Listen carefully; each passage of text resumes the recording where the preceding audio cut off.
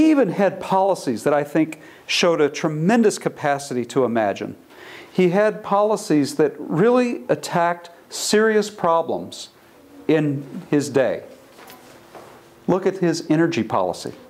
Do you know that President Ford's energy policy first was announced in the State of the Union in 1975? Now, let me just give you a few statistics about this because I think you will be shocked. Could we shut that door, please? Thank you.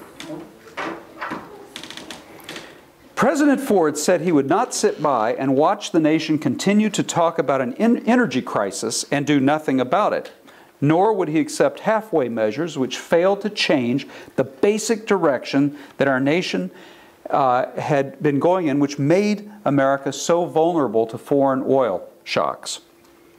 The President proposed firm but necessary measures to designed to achieve energy independence for the U.S. by 1985 and to regain world leadership in energy. Now, this is in his 1975 State of the Union address. Think of this. He wanted energy independence by 1985. At that time, in 1975, the average cost of imported crude oil was 10 bucks a barrel. Think of that. It's 140 today. 10 bucks a barrel. That's when we still had time to do a lot of things to uh, forestall a lot of problems that we would have later.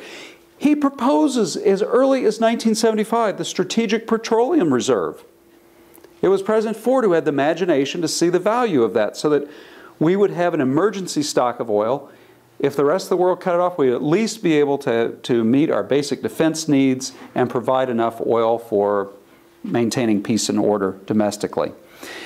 He also said that we needed to have major investment in alternative fuels solar, wind energy, geothermal energy, all of those that, you know, not just the oil shales in Colorado and that kind of thing. Uh, he, he did want, it is true, a vast expansion of oil, um, uh, uh, oil conversion from coal and from oil shale. He also wanted to expand nuclear technology. That scared a lot of Americans, but realize that other countries had been developing nuclear power. France, for example, unabated. They didn't have a three mile island. Now, one of the things the French did was that they put their nuclear power plants on the Rhine River. So, if there was a problem, all the nuclear fallout would go into Germany. This would be major payback for World Wars I and II. But they were developing their technology. Nuclear technology came to a screeching halt in the United States. Ford said, you know, we better look at it. We don't want to be stuck in an energy crisis where we're dependent on unstable sources of foreign oil. He saw it. Uh, he also proposed major conservation programs at the Carter administration. Uh, tax breaks, for example, if you insulated your house, if you put solar panels on for your wa hot water heater. This all started with Ford, you know, 33 years ago. Uh, he said that um, he also wanted uh, to have compulsory mileage standards for U.S. automobiles. He was the first president to say, you know, we, Detroit had better become very innovative. And of course, I hate to say this because I'm speaking in Michigan, I'm speaking in the auto capital of the world here, but it was the Michigan delegation which led resistance to Ford for any CAFE standards and that kind of thing. Well, the Japanese said, great, you guys go ahead and do that. We will adapt our technologies to your market, and they took advantage of it in a way that we, shame on us. We should have been ahead of the curve there. Japanese took us to school. And we're still paying for some of those decisions. I mean, look at all the people, you, have been reading the Detroit Free Press, the Detroit News, and all the people driving the SUVs and the trucks now who say, gosh, what were we thinking in the 90s when we went on this most recent spree? Ford called for zero oil imports by 1985. Now, I'm going to give you a couple of numbers. In 1975, we imported 5 million barrels a day. Do you know how many million barrels a day we import now? 15 million barrels of oil a day. Now, three times. Yes, three times. And economists project that if Ford's energy proposals had been implemented, the cost of a barrel of oil today would be only $20 because of the demand. I, I, I think that might be a little bit low because of China and India, but still, you, you see what I mean? About $120 less than what it is today. Vision. I'm talking about vision. I'm talking about healing the country through the presidency, reestablishing trust in the presidency and the office, and this major, this most powerful institution in the world. I'm talking about the long term promise of this nation. But I'm also talking about the short term policies. Ford had the imagination to grasp where this country had to go.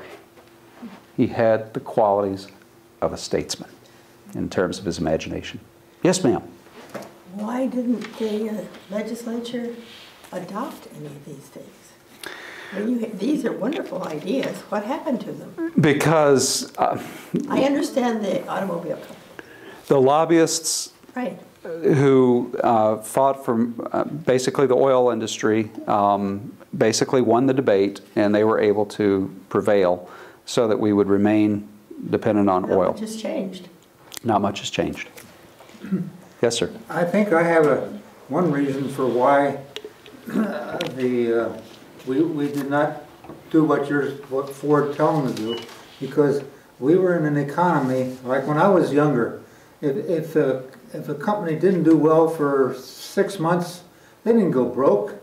They just did better the next six months. But now, if a company doesn't well doesn't do well in four months, they get rid of they get rid of the, the uh, we're in a market system. You got to do well immediately. Yes. And every four months, you got to make more profit than the guy before. That's true. That's true. That's that's a very good observation. That, that ruined us.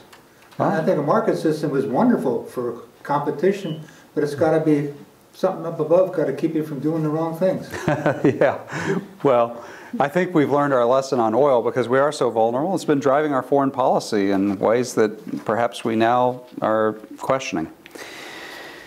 The second quality that I mentioned that a statesman has is passion.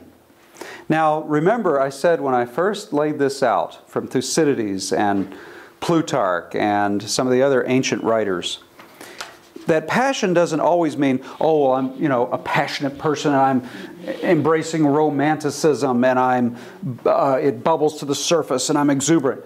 Passion is the fire in the belly. It's what's inside a man or a woman. And you can't always see that, but it expresses itself in very interesting ways. One way that you see a person's passion is in their ambition, their, their proper ambition not the overvaulting ambition that Shakespeare warns us about, but a proper ambition to get things done. And Ford had quite a bit of ambition. If you look at what he did, he wasn't content just to be a kid playing marbles out on the playground. He wanted to be a Boy Scout and stand out from the crowd. He wasn't content just to be a Boy Scout, he had to be an Eagle Scout. He wasn't content just to be an Eagle Scout, he wanted to be part of the elite honor guard up on Mackinac Island. That gives you a hint of what's to come in Ford's life. Look at him as a football player. At South High School in Grand Rapids, he didn't want to just watch football or be JV. He wanted to get on the team, be a football player, and he wanted to be the best he could, and he's voted the most the best football player in the state um, in 1930. So that's Ford's, you know, he's not content just to play football, he's got to be the best. He goes to the University of Michigan on the luckiest break of his life. He doesn't just want to be on the team, he's a center, he also plays defense. He is going to be the most valuable player on the team of 1934 for the Wolverines. He goes into the Navy. He doesn't just want to uh, be in the Navy to say, I was in the Navy. When he was assigned for too long in North Carolina and he didn't like his job there and he wanted to get into the Pacific Theater and get into the action, he told his officers, Send me to the action. He wanted to distinguish himself, and he went to the USS Monterey where he did distinguish himself. And so here's again a, a guy who's striving